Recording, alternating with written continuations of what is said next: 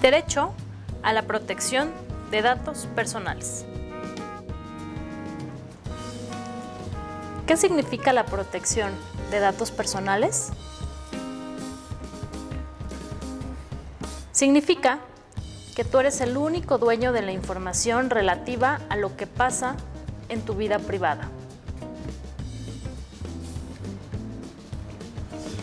Por ello, nadie debe molestarte en tu persona, hogar o familia, sin que tú lo autorices o sin que exista un mandato por escrito. Firmado por una autoridad competente para ello, en el que describa y fundamente las razones de su intromisión.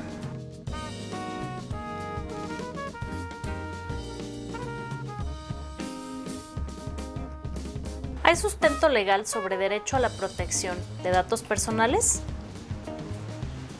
Sí. En marzo de 2008, en la Ciudad de México, se aprobó la Ley de Protección de Datos Personales para el Distrito Federal.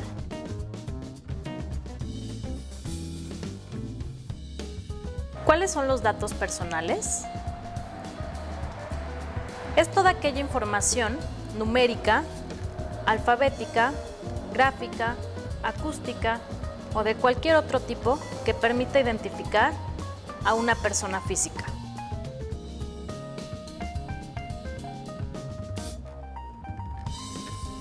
Por ejemplo, origen étnico o racial, características físicas, morales o emocionales, vida afectiva y familiar, domicilio y teléfono particular, correo electrónico personal, patrimonio, ideología y opiniones políticas, creencias, convicciones religiosas y filosóficas, estado de salud, preferencia sexual, huella digital, ADN, número de seguridad social, entre otros. Es importante que sepas que los datos personales son irrenunciables, intransferibles e indelegables. Es decir, no se pueden vender ni regalar, únicamente se pueden transmitir o ceder para que sean utilizados en la realización de algún trámite o servicio.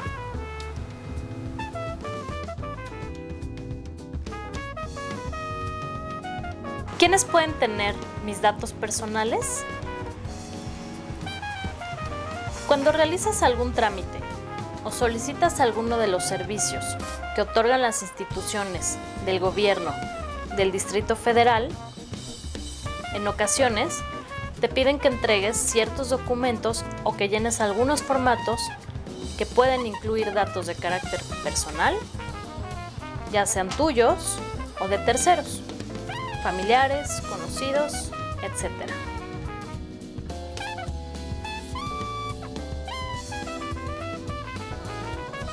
Es por ello que los diversos entes públicos del Distrito Federal tienen entre sus archivos información relativa a tu vida privada, con la única finalidad de otorgarte la atención o servicio que necesites.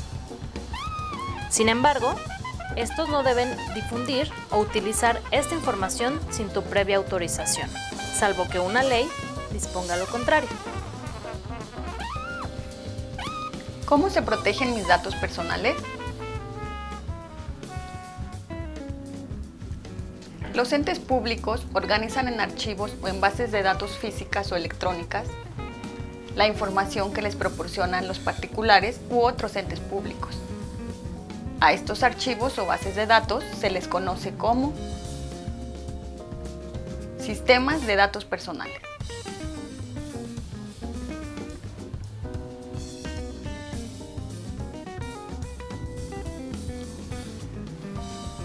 Los entes públicos deberán contar con el consentimiento de los particulares para el tratamiento de la información relativa a su persona.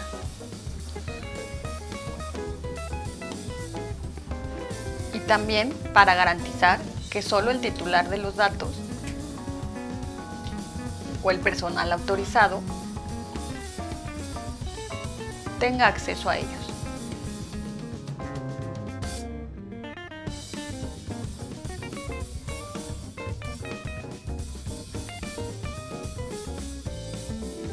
La Ley de Protección de Datos Personales del Distrito Federal establece, además, que tus datos personales deberán ser destruidos cuando hayan dejado de ser necesarios para los fines por los que fueron recolectados.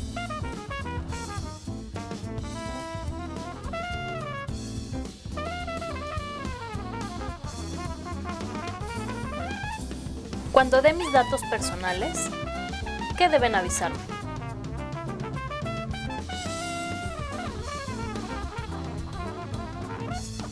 Deben de explicarme 1. Que existe un sistema de datos personales donde se almacenará tu información. Dos, ¿en qué se utilizarán? Tres, en caso de que sean transmitidos, ¿quiénes serían los destinatarios? Cuatro, si es opcional u obligatorio el proporcionar tus datos.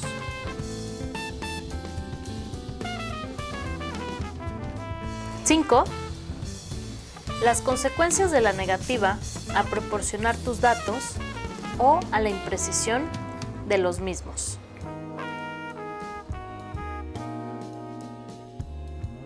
Seis, que tienes derecho de acceso, rectificación, cancelación y oposición a tus datos personales.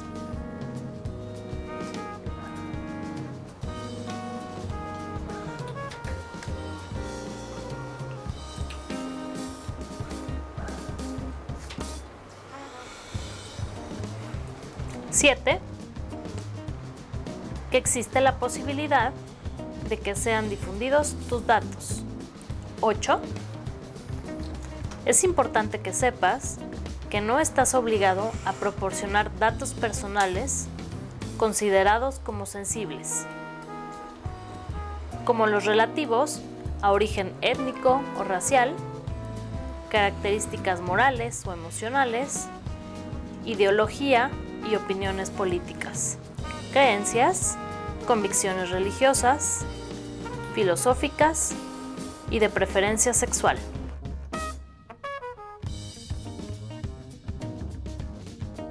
¿Siempre deben tener mi consentimiento para usar o difundir mis datos personales? Siempre, excepto en algunos casos.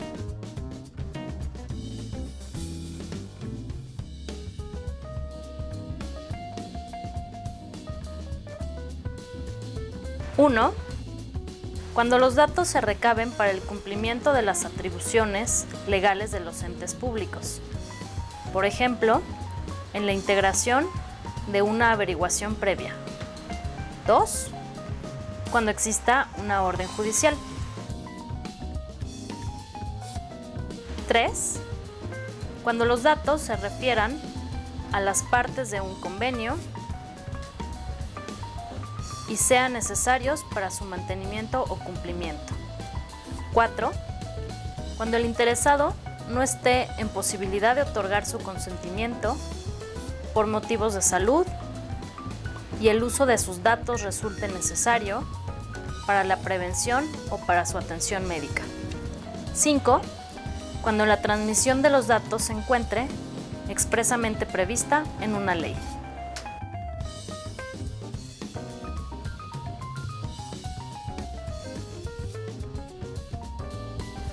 6. Cuando la transmisión de los datos sea entre organismos gubernamentales y tenga por objeto el tratamiento posterior de estos, con fines históricos, estadísticos o científicos.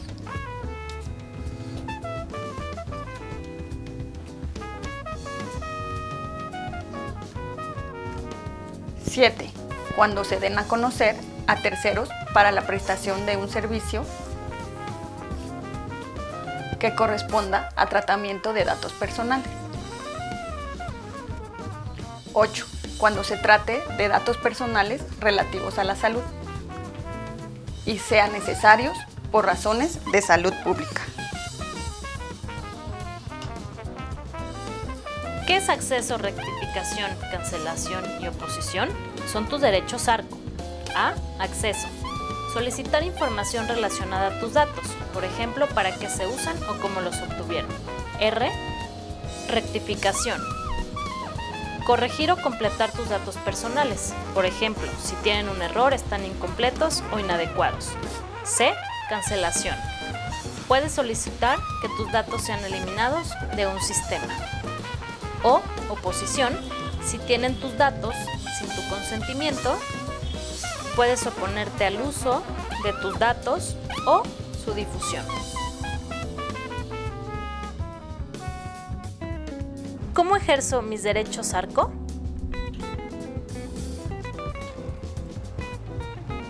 Por escrito,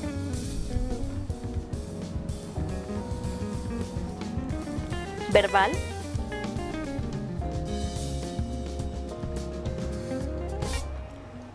por correo electrónico,